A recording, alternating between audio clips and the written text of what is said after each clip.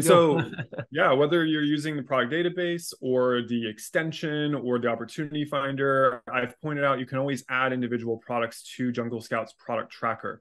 So that's the next tool I'm going to show.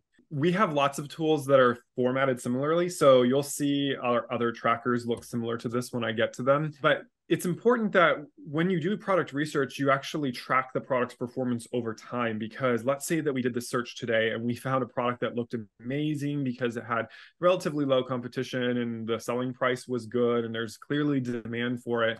But perhaps the data we saw today was just they had a good day today. And maybe in general, they don't sell that many of them or vice versa. Maybe we like, oh, this product doesn't look like a good opportunity, but it was just having a bad sales day, but it could represent a great opportunity. So we want to track their performance over time using the tracker. And you can see here we have lots of tabs that we've created at the top that we can name these tabs whatever we want. So we can organize our products in a way that makes sense to us. I'm mm-hmm. going to go to the washable pee pads because this is a product that Jungle Scout actually sells on Amazon under our Jungle Creations account. And you can see here that we've got 24 individual uh, washable pee pads on here. And that's important that it says washable pee pads. This is for training puppies so that they know to go to the door when they want to go outside. Mm-hmm. And uh, we specifically sell a washable one, not a disposable one. So when I add products to this tracker, I want to make sure they're all very, very similar products so that we can get the data is relevant to all of them. So just like the database, we got this table here. If I click the little view button, it'll show me this historic chart for things like how many units have sold over time, how the sales rank on Amazon has changed. I could even see how the seller's inventory has changed if we have access to that data.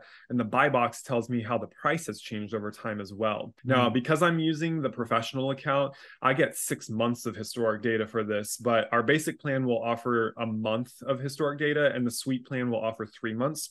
So the more data, the better. And I always recommend that people try to track something for at least a month to make sure that it's a mm-hmm. solid opportunity before they invest money in a product. But the other thing I wanted to show you is that beyond the historic charts for an individual listing, we can also see this aggregate info for our grouping of products. This is really similar to the way the extension collected all that data from the first page of search results and then gave me an average daily sales number, an average selling price, and all of that. The difference is that these numbers are relevant only to the specific products that I've chosen to add to this list. Extension was all of the products that showed up on the first page of search results. So mm-hmm. this way I can get an idea for whether this little niche that I've created mm-hmm. looks like it's a solid niche that will, you know, build a good